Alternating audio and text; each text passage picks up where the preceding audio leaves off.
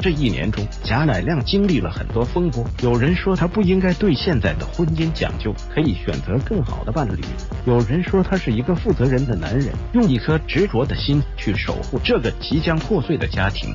小编更倾向于后者对他的评价：当你有了家庭，有了孩子，婚姻不仅仅是两个人的事情，更关系到两个家庭和孩子的问题。贾乃亮是为了顾全大局，所以他没有做错。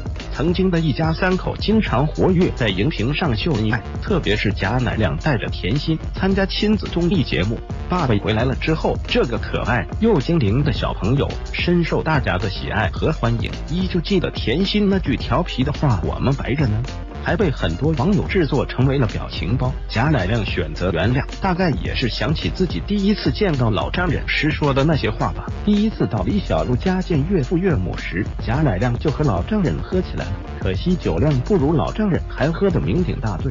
贾乃亮喝醉后竟然还哭了起来，很多人觉得这是丑态，怎么能在老丈人面前哭呢？这未免也太动真情了吧！但就是贾乃亮的这个举动，才感动到了老丈人。都说酒后吐真言，贾乃亮在喝醉之后，向老丈人说出了自己的心声，大概就是有些对李小璐的告白之类。老丈人听得非常感动，